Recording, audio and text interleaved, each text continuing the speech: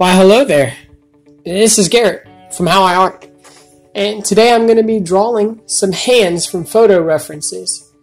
The, the main purpose of this video was is that actually while working on other things, I'd noticed that you know some of my hand drawing poses were, were pretty weak, and the only way to really get better is to practice.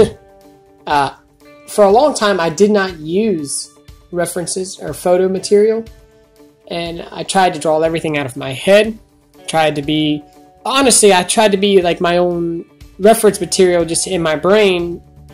For some reason i thought it would make me better if i could if i didn't use any kind of reference and i only drew from my imagination.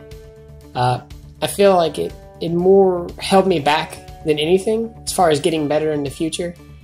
And uh, now I, I really don't understand how i even justified that.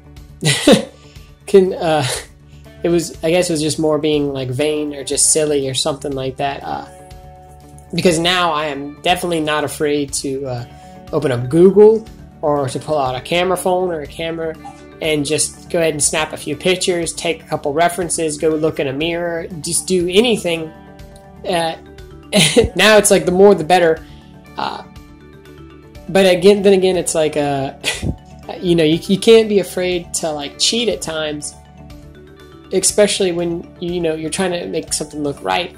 Uh, I remember in the past, whenever I'd be drawing, I would get to points in my pictures where I would I would get stuck, like I couldn't draw something right, so I ended up like erasing it, and then I would draw it again, and like it wouldn't be right again, and then I would erase it, and I would draw it again, and like I would just get so frustrated, I would get so burned out that I would like ultimately, I would like just lose all hope, and I, I, remember just being just so over like overwhelmed and so frustrated that I remember like at times I would almost just stop drawing for periods of time because I felt like I would never ever get any better.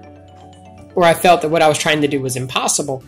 And you, you know whenever you hit these walls whenever you hit or like you know whenever I hit the walls it's it's easy to give up. It's easy to quit. It's easy to walk away. But like in at the end of the day the reality was is that like drawing was my passion. And drawing has been my passion for a long time. And, you know, learning not to just become overwhelmed or become so frustrated that, you know, we can't get better. Because like learning learning to get better is is about putting in the work. It's about continuing to try. It's about it's honestly about not quitting. Uh, I was listening to some stuff recently, and they were saying, uh, you know, drawing is a skill. You know, and I think everyone pretty much agrees with that. And uh, the person I was listening to was saying, you know, as, as far as like, because he was saying he was teaching people how to draw.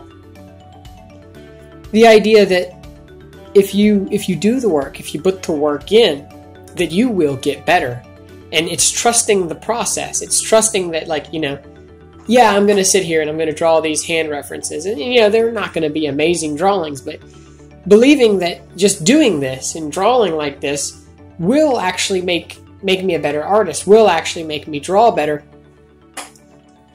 I, I know it, it, may sound ridiculous, and, uh, you know, I talk to people all the time, uh, especially about drawing and, like, art stuff, and, like, like everyone, they're like, oh, no, I, I can't do it. No, it's impossible. And I'm like, you know, it's like they just believe that for whatever reason that like because you can draw well that you've always been able to draw well.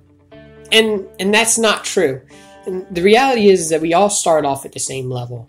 We all start like i remember when i was a kid and i started drawing like when i was in kindergarten and i was i was trying to draw like a picture of a dog. And you know at the time yeah, I, I practiced and practiced and practiced, and I ended up drawing it, and everyone was really impressed. I mean, I'm sure if we all went back now and looked at it, it would look like complete crap.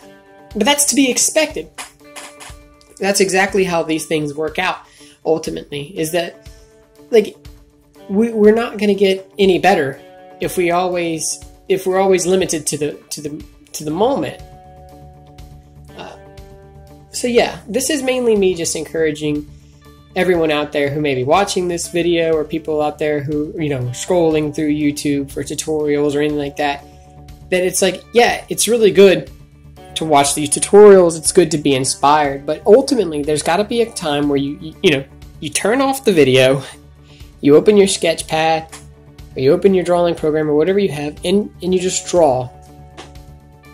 I mean, drawing can be very therapeutic. It gives you time away from everything, away from all the chaos that we generally deal with in our lives. But, you know, the reason I mainly reason I, I kind of started this whole channel was is that you know I wanted to show my art. I wanted it to get out there but I also wanted to kind of be able to connect with the communities out there and connect with people. So if you have any questions or would like to say anything go ahead and leave a comment at the bottom of this video and let me know what y'all are thinking. And uh, I would love to, to hear more people's opinion or hear other people's stories so go ahead and hit that like and subscribe down at the bottom and I'll catch you guys later